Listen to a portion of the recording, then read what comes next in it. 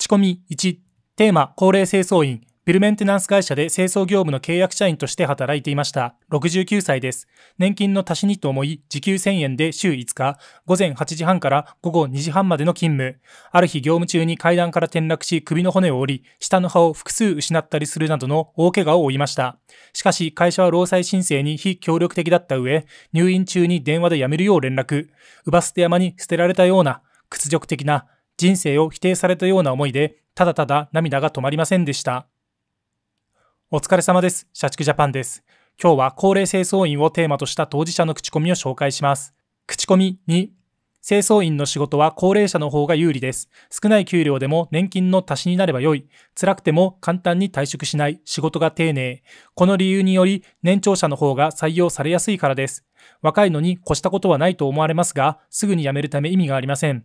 この人手不足の売り手市場においては、何より辞めない人材が求められます。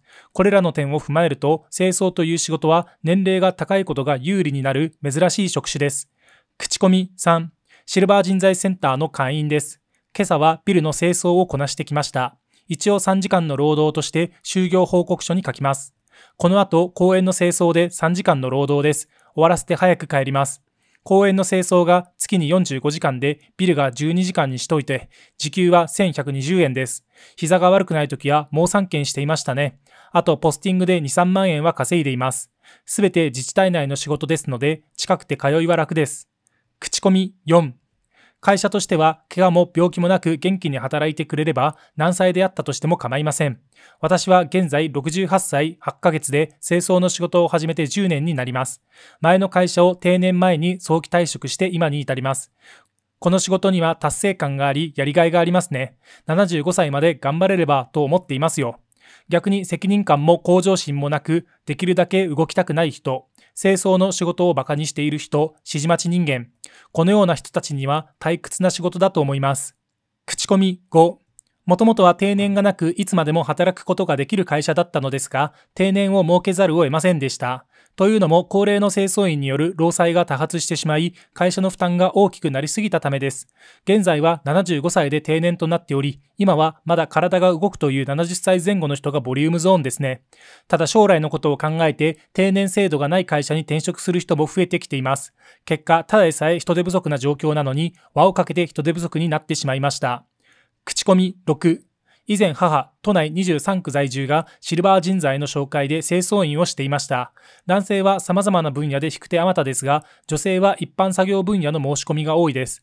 そのため全員に仕事が行き渡るように3、5年で契約終了して別の事業所に配置転換。またシルバー人材は個人事業主扱いなので収入からみなし消費税を引かれます。年金プラスお小遣い程度の収入が欲しいならシルバー。生活費のためにしっかりと稼ぎたいならパート。正社員で制度があるなら再雇用をお勧めします。口コミ7。シルバー人材センターでは月10万円なんて無理です。フルタイムの仕事がありませんから。週2、3日で4時間ずつぐらいだから3から4万円程度です。政府広報資料は単なる理想、夢物語、詐欺。それならいっそのことハローワークの方が良いです。清掃以外にも色々な業種があるし、相談窓口も親切。いずれにせよ働かないとボケますから、一日中テレビの前でボケっとしているとあっという間に老化。定年再雇用制度があるのなら今までの職場、なければどこでもいいから体を動かすべきです。口コミ8、ホテルの客室清掃は定年後にやるとしても重労働なので長くできる仕事ではありません。私も客室清掃の仕事をしていますが、ベッドメイクだとアンダーシーツを引っ張ってきれいに三角折りにする、重いマットレスを上げて布団を挟み込んだりするのが地味に大変なのに最低賃金です。なので、ホテル側はもう少し楽にきれいにできるような寝具を用意してほしいなと思います。腰を痛める仕事なので、コルセットは必須です。この年になると一度痛めるとなかなか治りませんから。口コミ9。何もしていないと勝手に将来の不安で押しつぶされます。3K、4K なんてマスコミが作り上げた罠にはまり、なんでこんな人生と嘆く人には明るい未来はありません。還暦を過ぎたら足腰が動くうちに何でもすることです。悠々自適な老後生活なんて幻です。一旦病気や怪我をしてしまえば、周りや気を使い離れていき、あっという間に孤独の闇に。奥さんや旦那さんも冷たい方なら離婚して終わりです。手に職があるのならば、そのまま働くもよし、手に職がなくても警備員や清掃員と引く手あまた。口コミ10。高齢者雇用をしている会社が全てそうだとは決して思いません。ただ、高齢者なら勤務できる当ても少なく、低賃金で使い捨てにできる会社にとって便利な存在。このように高齢者の労働力を都合よく利用し、いざ労災に遭えば会社のお荷物として切り捨てる。政府は一億総活躍時代というスローガンを掲げ、高齢者の労働力を活用する政策を今後も進めます。それであるならば、まず使い捨てにされる高齢労働者の職場環境の改善を進めるべきではないでしょうか。口コミ11委託で清掃をしています。先日同僚の高齢女性が出勤後ぐったりしており、会話もままならない状況に、リーダーに救急車をと数人で言っているのに躊躇。警備室へ連絡したら救急車を呼ぶから入り口まで歩け。このように言われたので歩かせた後救急車で運ばれました。救命者容体を見て身内を呼ぶよう指示。運ばれた先の集中治療室で3日過ごし、なんとか持ち直しほっとしました。ただその後責任者が修例で、救急車は自宅で呼んで、社内での事故、病気は労災や過重労働の疑いがかかる。人命軽視、安全軽視、利益追求の非人間的な職場。口コミ12、高齢者の休業保障後の対応について、週3日1日8時間勤務されていた84歳の女性が清掃業務中につまずいて膝を亀裂骨折し、現在休業中です。労災で休業保障の申請準備をしています。しかし年齢と膝の怪我を鑑みると、復帰しても仕事に支障が出ることが予想されます。すでに1ヶ月以上休まれているので公認も見つけています。このような場合、解雇することはできるのでしょうか歩行が今まで以上に危険となり、また転倒なので怪我をする恐れがあるから、継続雇用するのは不安。なお、本人は勤務継続を希望しています。口コミ13。昼間だとなかなか本業として成り立つことが少ないので、どうしても清掃は高齢の方が多くなりがちです。そうではないフロアメンテなどなら、若者や独立した人たちも多いですけどね。あと、大手の物件、大手のキャリアだと若者もいます。それ以外だと長時間働ける現場が少ないからです。よってパートタイマーのおばちゃんなどが多くなります。例えばの話ですが、駅のトイレ掃除、行政のトイレ掃除、使用が決められていて、1日1回で済む場合などです。収入が少なく、若い人はなかなか続きませんからね。口コミ14。自分も常駐のビルの清掃の仕事をしています。結構体力を使うので筋肉痛になりますね。あと同じ同期で働いている年配の方もいますが、急に怒鳴りつけたりする方もいます。ビルの清掃は本当に人間関係に左右されます。年配の方は好き嫌いが激しいのでそこが関門。清掃のやり方にイチャモンをつけてきたりするなんてザラにありますから。あとビル清掃に関してはクーラーが効いているかもどうかも重要になってきます。特に夏場。口コミ15。20年学び、40年働き、20年休むという意識、常識が時代とともに変遷、変化してきていますね。年金受給年齢の引き上げと労働の強制は高齢者にとって何とも過酷な施策です。65歳くらいなら清掃員や警備員などで働ける人もまだまだ多いですが、80歳となるともう無理。寿命と健康寿命などと言いますが、生物である以上、体の機能は確実に衰えるものです。70歳くらいが限界じゃないでしょうか。少子化で移民も来ないなら、高齢者しかないという事情はわかりますが。口コミ16。バブルの時代からもう十分働いた。昔は今の倍は働いたし、パワハラ当たり前の週休1日。サビ算だって当たり前だった時代でもう働くのに疲れた。若い頃の無茶、ダメージが体に出てきている。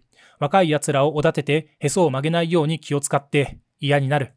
今は60歳だが、いつ辞めようか毎日考えている。政治家の皆様は、選挙以外は気を使わせる立場だから楽かもしれないが、老後の仕事は警備、介護、清掃。政治家はとにかく現実を直視しろ。今若い人も将来必ず年を取るんだから。口コミ17。清掃に高齢者が多いのは採用されたらすぐに辞めないって要因が強い。人手不足だからといって高い時給で募集をしたら前からいる人と釣り合い取れなくなるしな。辞める人が多い現場の場合は繰り返し求人を出して続けてくれる人を見つける。まさにガチャガチャ回し。あとは見た目ヨボヨボで作業自体には問題ないけれども、ビジュアル的に普通は面接に受からない人をあえて採用。その人もよそでは採用されないのが分かっているから頑張って続けるパターンもある。口コミ18。60代一人暮らしの清掃員です。毎日決まった場所に行くのではなく、日によって仕事場が異なるのが特徴です。行くところを間違えないよう手帳を確認することが日課。ビル、病院、ホテル、学校、商業施設、本当にいろんなところを回っていますね。職場には私よりも若い子もいますが、ほとんどの従業員は60代である私よりも高齢です。高齢となると、やはり若い頃のように体が動かず、通勤中にこけて骨折した同僚もいます。口コミ19。私は独身の時からずっと事務職で働いてきましたが、65歳で退職となりしばらく家にいました。しかし、一人暮らしで家にいるのももったいないと思い、週3回、事業所の清掃の仕事をスタート。朝2時間半の仕事でしたが、やはり体を使う仕事は無理でした。10ヶ月で具合が悪くなり辞めました。今は低年金暮らしですが、仕事は一切できないと思いますし、やる気もありません。皆さんも腰痛には十分気をつけてください。あまり無理をなさらないように。口コミ20。これで最後です。屋外清掃をしています。とてつもなく暑い環境で、大学の周りの落ち葉拾いや草抜きなどをします。昨年は気温が39.8度もありましたからね、十分に水分をとっていても熱中症一歩手前。他にも学内の掃き掃除にモップがけや除菌もしました。まあ家にいるより外に出て働いた方が楽しいですし、体力維持、地方防止のためにやっている面もあります。何より体が動くうちはできるだけ稼いで、家族のためにも自由に使えるお金を稼ぎたいです。高齢者は社会のお荷物ではありません。今後も社会の役に立つ一員として頑張ります。以上が高齢清掃員の当事者の口コミでした。皆さん、どう思われましたか？ぜひ感想をコメントで教えてください。はい、本日の動画いかがでしたでしょうか？今後も皆さんのお役に立てる動画を配信してまいりますので、ぜひチャンネル登録をして次回の動画をお待ちください。